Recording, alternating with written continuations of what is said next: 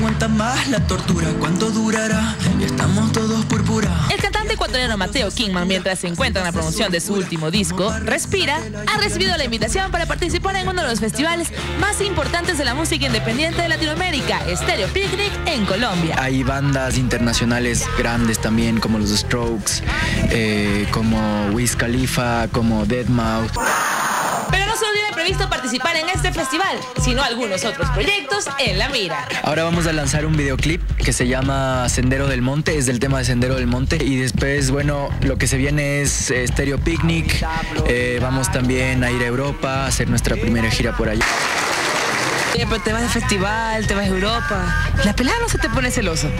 Chuta, ya tocó, tocó quedar soltero. Mejor estar solterito para poder ir a conocer, dices. Sí, más tranquilo. La cara de sufrimiento.